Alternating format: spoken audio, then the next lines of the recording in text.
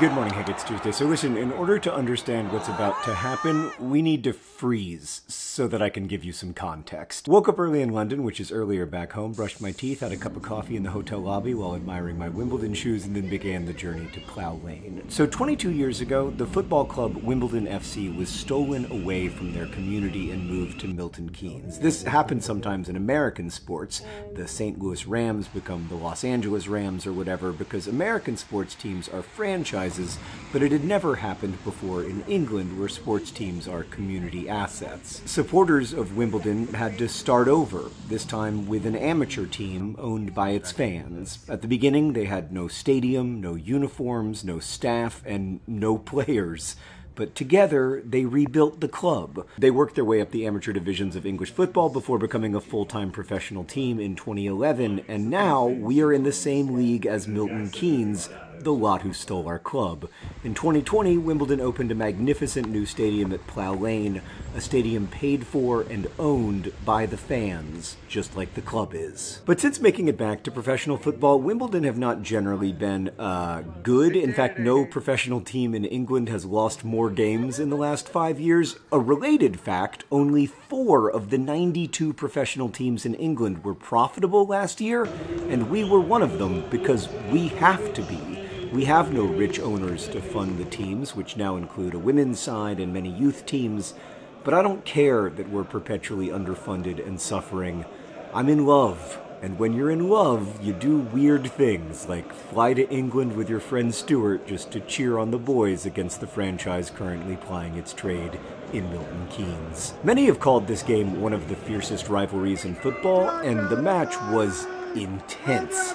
I sang and shouted myself hoarse. I was filled with dread. We'd never beaten Milton Keynes at home in front of our fans. On the pitch, the Dons, some of whom have been with Wimbledon since they were 9 or 10 years old, played their guts out. But after 90 minutes that were exhausting even to watch, there'd been 12 yellow cards, but no goals. And then, in the last minute of the game, our friend Lex happened to be recording what they thought was the end of the game, but it wasn't the end.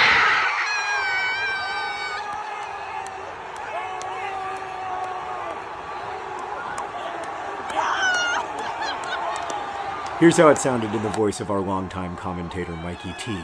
Back now to Reeves once again, high and forward. Brown now with the opportunity. Players going up in the centre. Oh, and it's a chance for Curtis. It's the goal! Wimbledon! Yes! Yes! It's Curtis!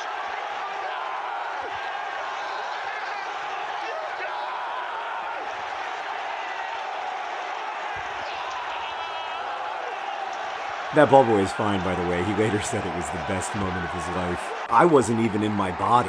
I was in some other place, some light soaked plane of existence where all hope is rewarded. I mean, look at it, Hank. Look at the 20 years of shared commitment and effort that got us to this moment and put it in the Louvre. The entire stadium was in ecstasy. Absolute breathless joy flooded through me. I've never felt anything so wondrously simple. Of all the unimportant things, football is the most important. After the game, I celebrated with the Nerdfighters of Plough Lane, and then several players made their way out of the locker room to be with the fans, and I met up with the world's greatest left back, Jack Currie, and then later Wimbledon's manager and coaching staff showed up at the pub to take selfies and sing with the fans. I don't need you to love football. I only need you to love something that brings you together with others whose love is pointing in the same direction. For me, that's football, but for you, it could be crochet or Jane Austen or distance running. But to be bound up with others, with friends and strangers alike, is the human condition. And to be in community is to be, for me anyway, more fully alive.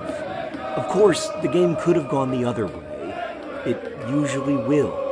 But every once and again, we are reminded that hope is truly the thing with feathers, and we fall in love with the broken world all over again. Hank, I'll see you on Friday.